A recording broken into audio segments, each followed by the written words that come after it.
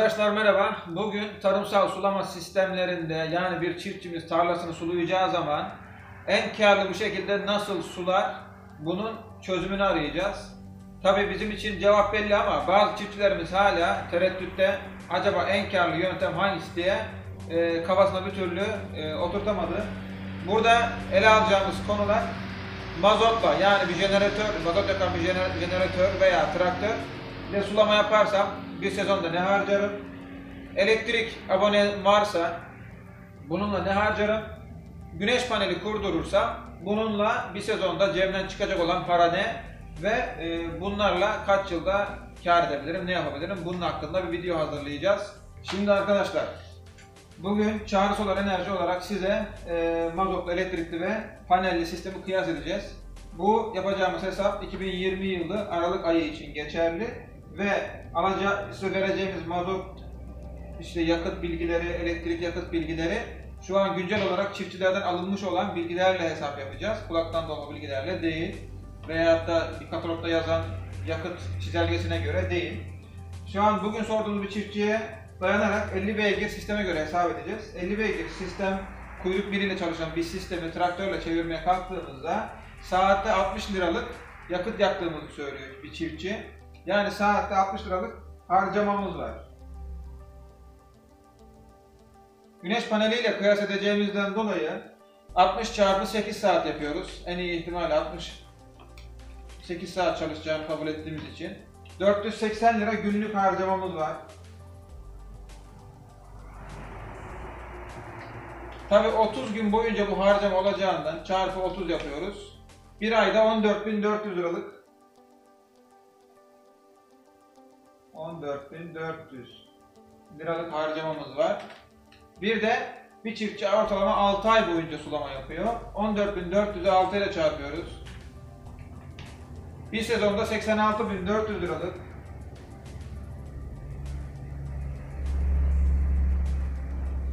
...86.400 liralık mazot yaktık sadece. Daha bununla bitmedi tabi. Çünkü bu mazotlu sistemlerde ama jeneratör olsun ama traktör olsun çalışırken başında illa birinin beklemesi lazım. Çünkü yalnız başına bırakıp bir yere giderseniz hararet yapma ihtimali veya da birinin gelip kurcalayıp orada bir kazaya sebep vermesi muhtemel bir olay. O yüzden bir işçi kendiniz de çalışsanız, başka birinde çalıştırsanız sonuçta orada bir işçi bir gününü harcayacak. O yüzden en kötü ihtimalle bir işverene, bir işçinin maliyeti bugün 3500 lira civarı. Çarpı 6 ay boyunca 21 bin lira bir işçilik maliyeti var. 21.000 TL. Ayrıyeten bu çalıştırmış olduğumuz traktör olsun veya da jeneratör olsun bunun bir eskime payı vardır. Normalde ticari araçlar bir, bir yerden bir yere giderken yakıt yaktığı yakıt kadar örnek verelim 100 lira yakıt yaktıysa 50 lira civarında eskime payı eklenir. Ama biz bunu daha da iyi, iyi, iyimser bir hale indirerek 100 liraya 25 lira yani dörtte bir oranında bir eskime payı ekleyelim. Onu da şu 80 4000 liralık yakıta e, ekleyeceğiz. Yani 21100 liralık bir 21100 TL'lik eskime payımız var. Bunların hepsini toplayalım. Sezonda ne kadar harcıyormuşuz ona bakalım.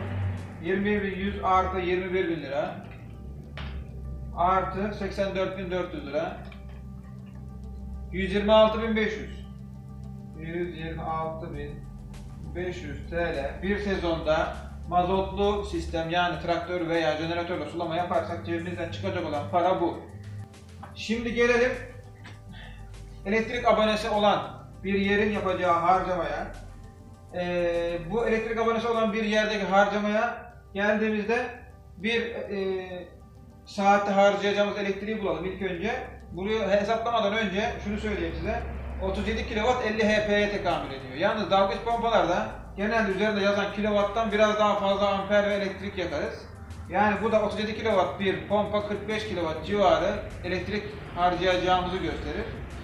Ee, bu da bir saatte normalde 45 lira yapar. Şu andaki e- elektriğin kilowatt saati vergilerle, o diğer giderlerle birlikte 1 liraya yakın. Biz buna 40 lira yazacağız. Gene iyimser davranacağız hep bunları hesap ederken. Güneş paneline gelince biraz daha kötümser davranacağız. Sanki amorti etmeyecekmiş gibi. Ona rağmen bunun kârlı çıkacağını göreceksiniz. Saatte 40 lira yaktığımızı kabul edersek onu buraya bir yazalım. Saatte 40 TL. 8 saat yine çalıştıracağımızı kabul edeceğiz. 8 çarpı 40. 320 lira günde. 320 TL. Ondan sonra aylık 320 çarpı 30. 9600 lira. 9600 lira. Çarpı 6 ayda yani sezonda 57600 lira.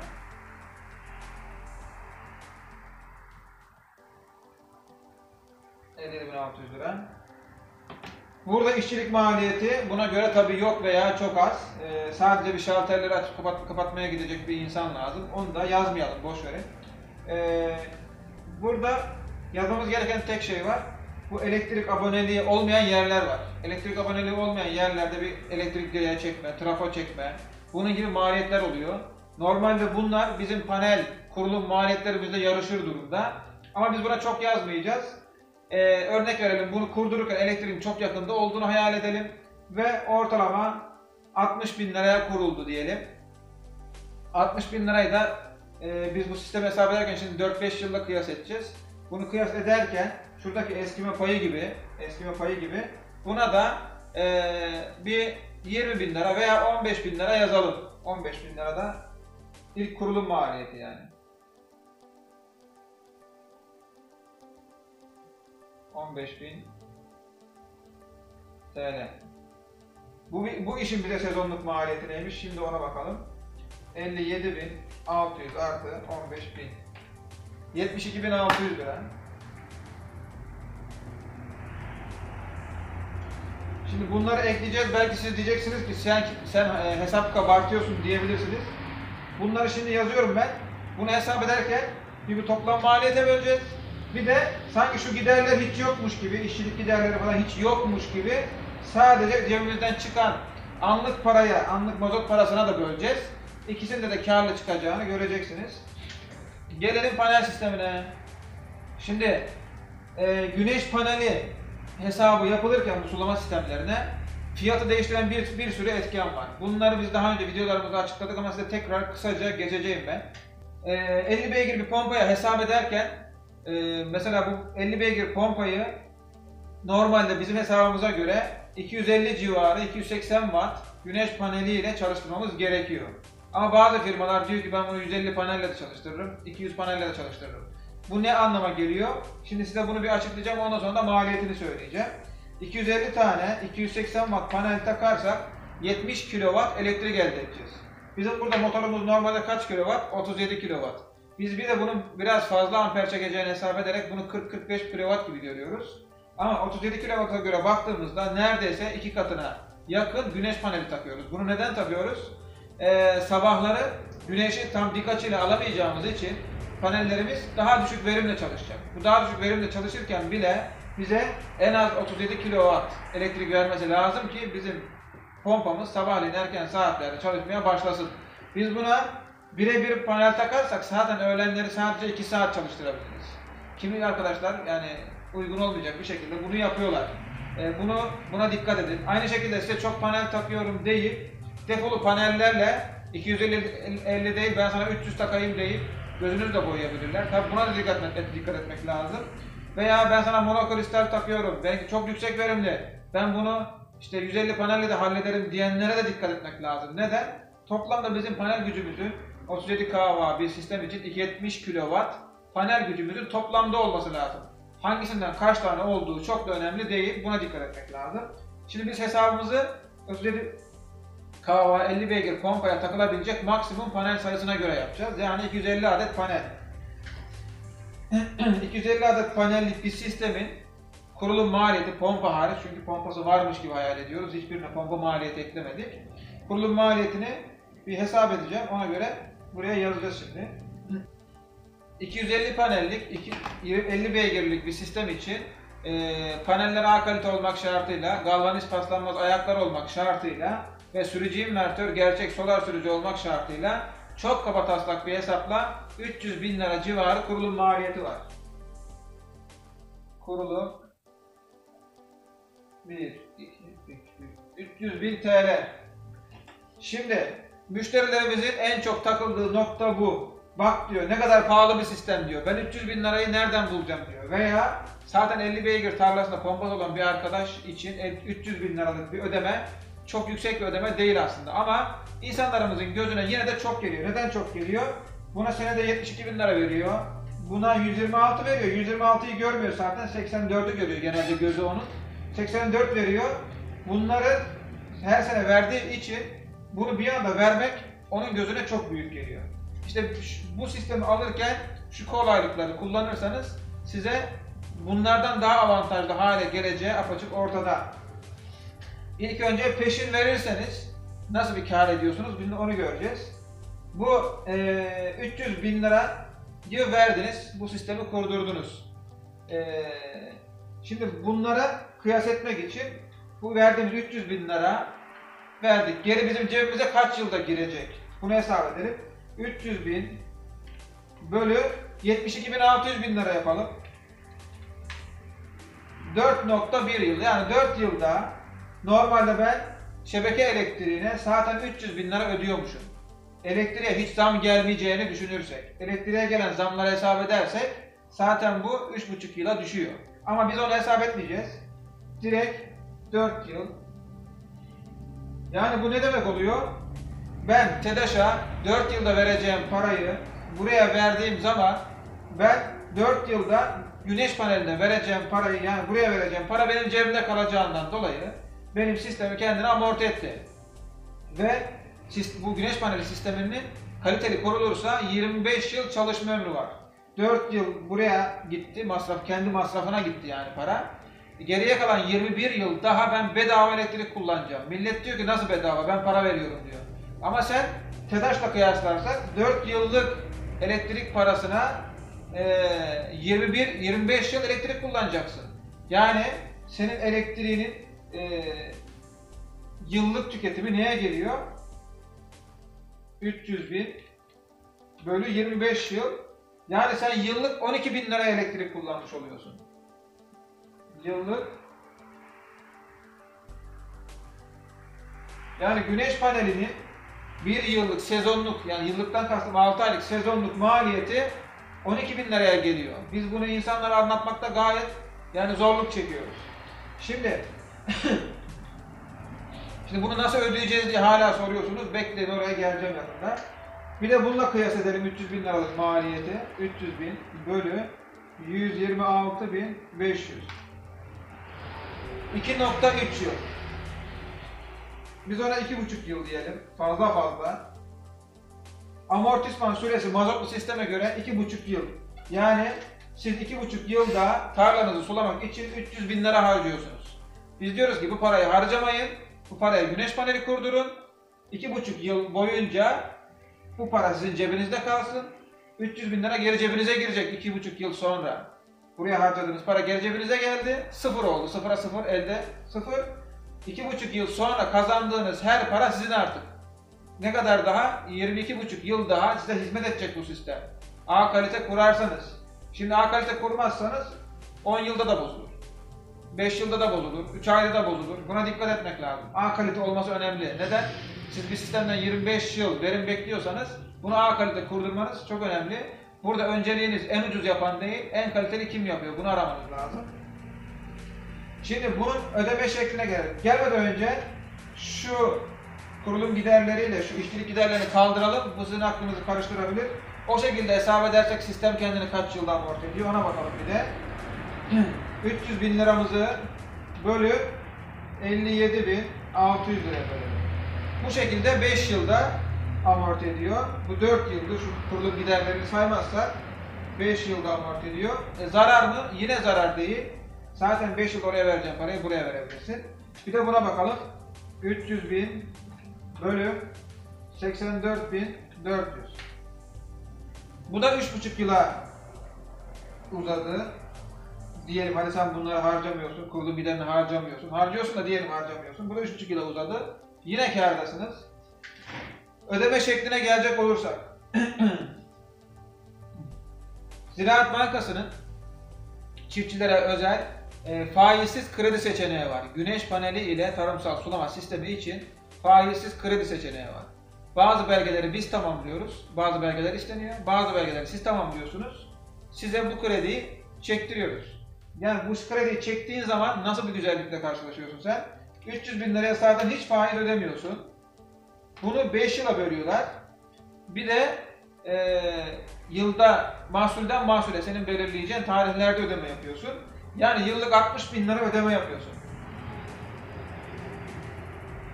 Ödeme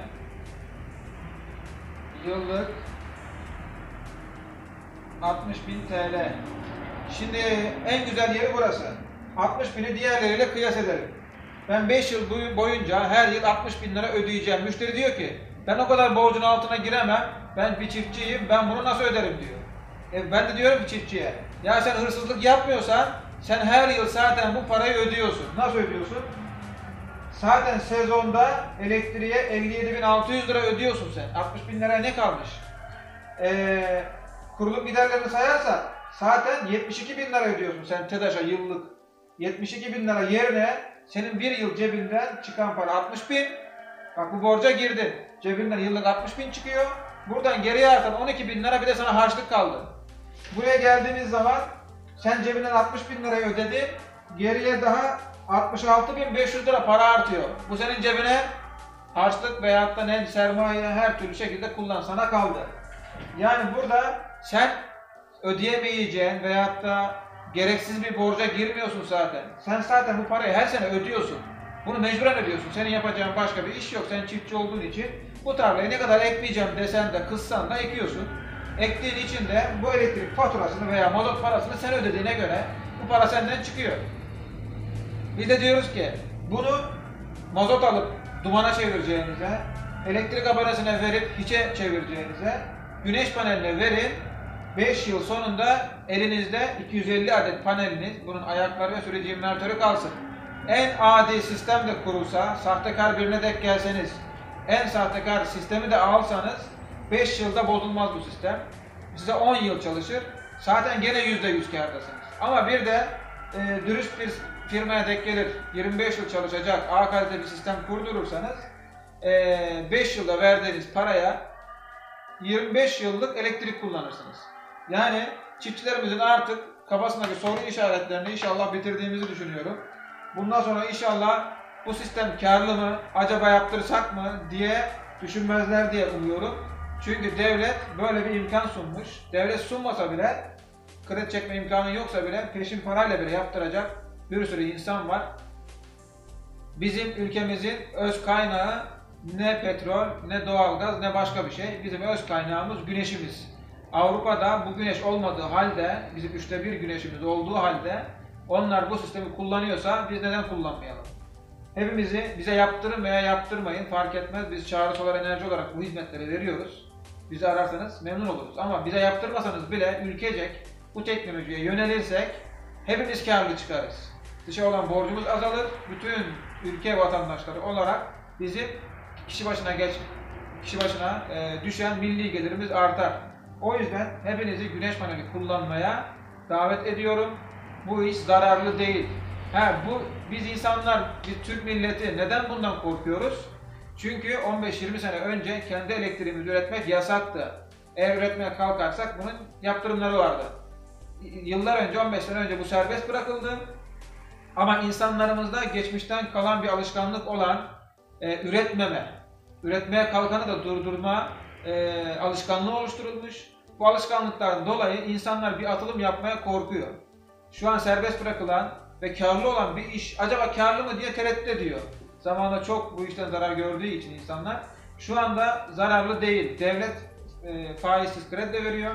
Hem milletimiz, devletimiz şunu diyor. Hani tarımsal sulama için olsun, başka sistemler için olsun, ev olsun, fabrika olsun. Devlet niye teşvik vermiyor diyor. Devlet neden teşvik versin? Zaten 3 yılda, 5 yılda, 2 yılda kendini amorti eden ve çok karlı olan bir işi devlet neden tamamen bedava haline getirsin? Örnek verelim bir vatandaş bir tane ev alıyor 350 bin liraya e, aylık 1000 liraya kiraya verebilse veremez de diyelim verdi kendini 350 ayda amorti ediyor. 350 ay böyle 12'ye bölenip 29 yıl. Zaten bir evin kullanım ömrü 35-40 yıl. 40 yılda, şey 30 yılda senin verdiğin para geri sana gelecek diyor. Ne kadar ölü bir yatırım olduğu halde binlerce, milyonlarca insan ev almak için birbirini eziyor. Ama kendini 5 yılda amorti eden, her nereden hesap edersek edelim, kendini 5 yılda amorti eden bir sistem milletimize acaba karlı mı, devlet bize niye teşvik vermiyor diye sorulara tabi kalıyor. Bu hiç de mantıklı değil. Yani devletin para harcayacağı daha başka bir sürü yer var. Buna sıra gelinceye kadar. Karlı olan bir işe kimse para vermez. Yani bugün birçok insanın altında 250 bin liralık araba var. Burada 300 bin liralık sistemden bahsediyoruz. Bu büyük bir sistem ha. Çoğu çiftçi 5, 5 beygir, 10 beygir, 7,5 beygir pompayla işini görüyor. Onların maliyetleri çok daha düşük. Yani herkesin bir araba alır gibi, bir ev alır gibi, bir bahçe alır gibi alıp kullanabileceği bir sisteme devlet eee, destek vermez. Bu umudu bence unutun. Bir an evvel kendi ihtiyacınızı görecek sistemi kendiniz nasıl kurdurabilirsiniz buna bakın. Ben Osman Çağrı Çerçi, Çağrı Solar Enerji olarak hepinize teşekkür ederim. Diğer videolarımıza beklerim. Eee, bize video esnasında videonun içinde geçen iletişim bilgilerinden ulaşabilirsiniz. Tüm Türkiye'ye hizmetimiz mevcuttur. Eee, merkezimiz Aydın'da Türkiye'nin bütün eee, illerine hizmetimiz vardır. Herkese hayırlı günler.